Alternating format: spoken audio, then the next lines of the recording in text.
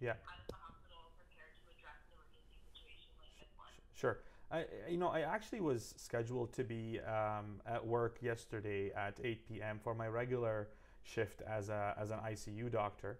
And uh, what happened is that uh, uh, I actually arrived to the hospital. I wasn't really listening to the news or paying attention. I had my dinner and then I went to the hospital for a regu- uh, preparing for a very regular evening shift.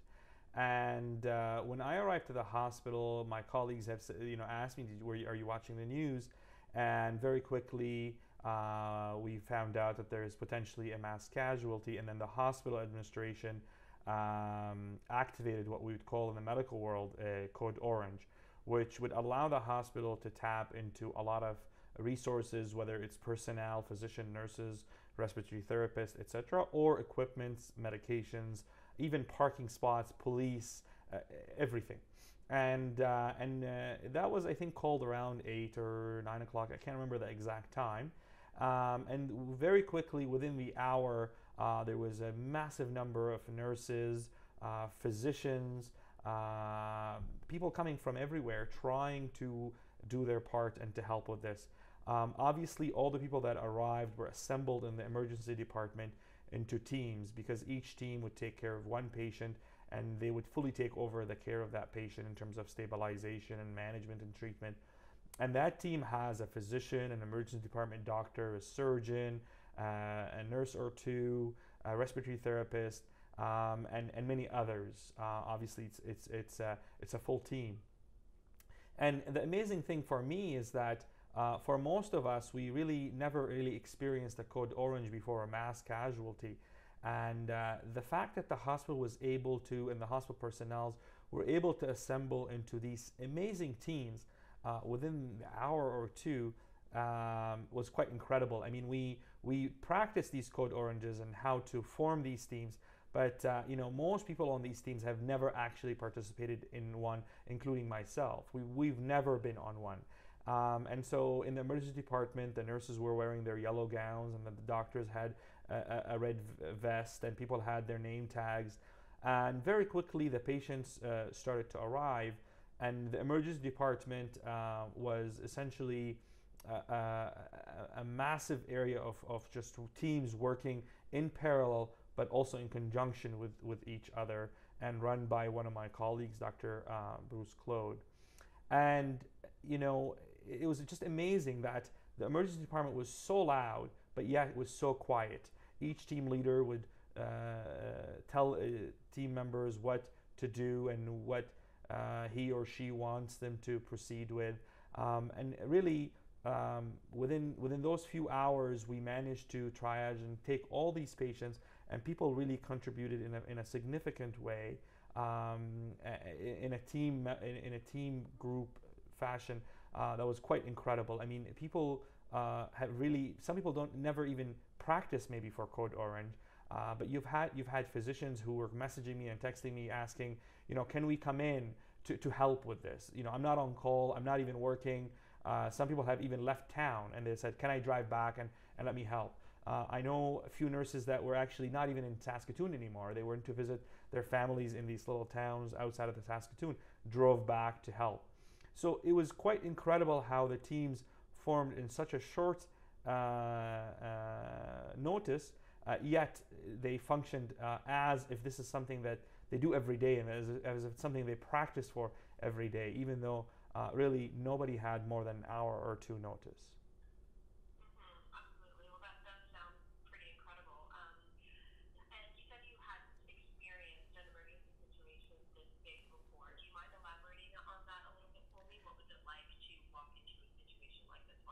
You know, I, I've never actually personally had this experience here, uh, but as a physician, I actually volunteered in Syria in 2012.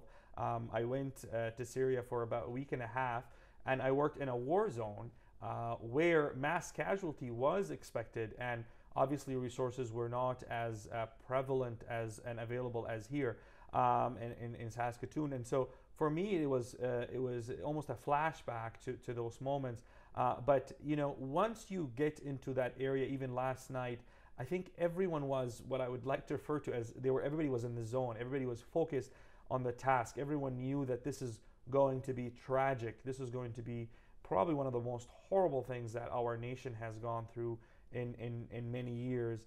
And so everyone had uh, a goal uh, in mind that they want to make this tragic event less tragic um, to, to improve the outcome for our patients, for our young uh, hockey players.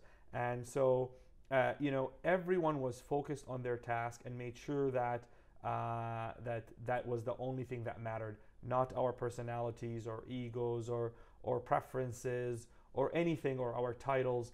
Everyone did whatever was best for our patients.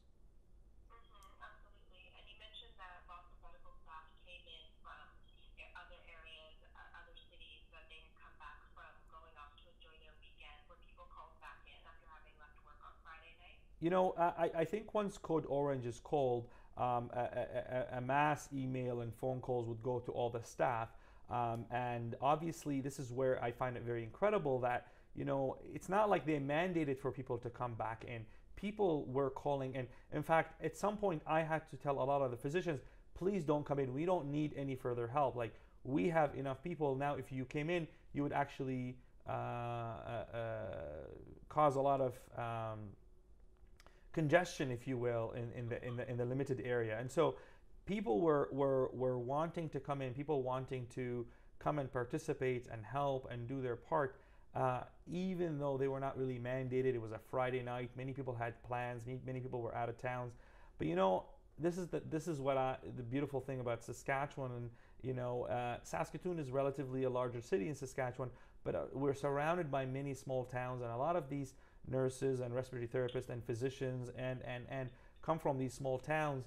And these players come from those small towns. So to a lot of these personnels these are family members. These are people that they know uh, and they may not have known the individual patient or the individual hockey player but they know of him or they know of his family or they know of someone that knows that.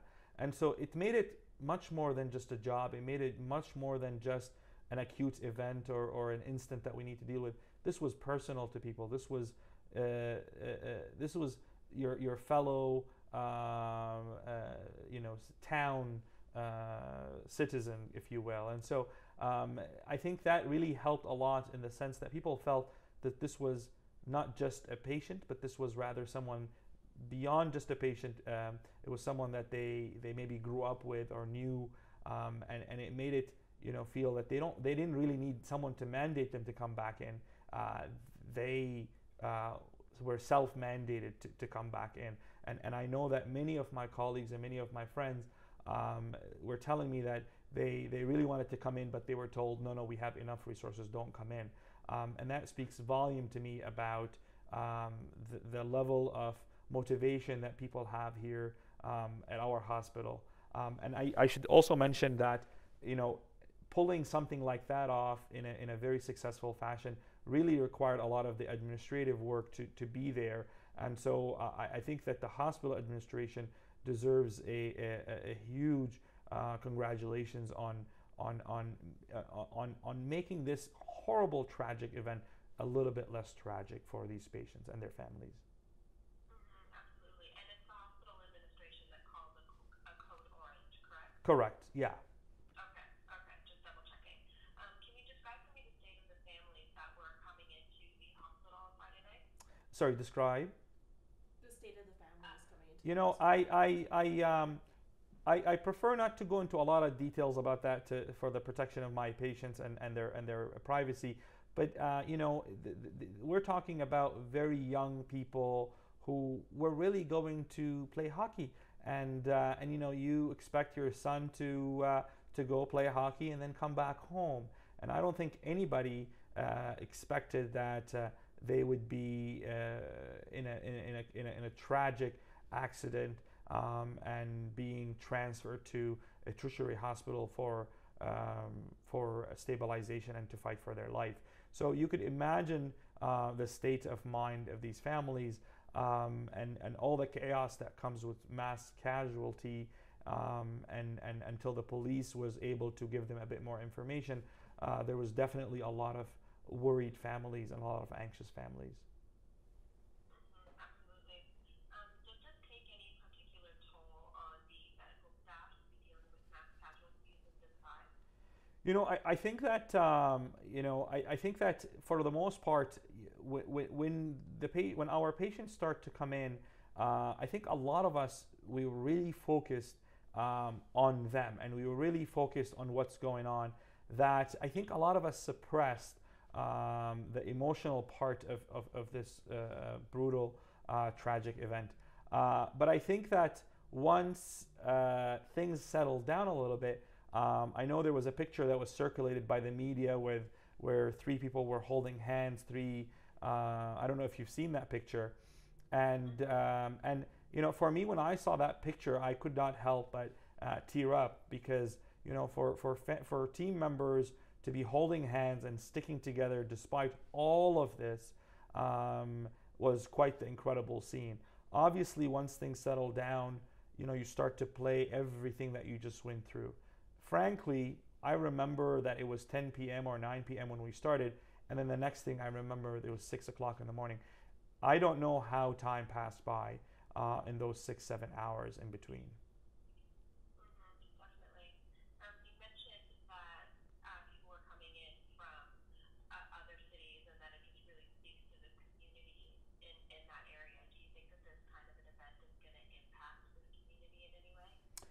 I think that this is going to leave um, an everlasting tragic uh, impact on these towns. Remember, um, the, a lot of these towns have uh, 5,000, 3,000, 2,000 people. Um, and in these towns, people literally know everyone that lives in the town. And they grew up together. They went to the same school and, and, and slept at each other's houses. And, and so it's not that, you know, oh, uh, just you know somebody's son. It's it's it's the town's son. It's it's everybody's son. Uh, it's everybody's uh, hockey team. And so I think that the uh, uh I think that the, uh, the, the, those towns are going to have a very difficult time in the in the days and the months to come.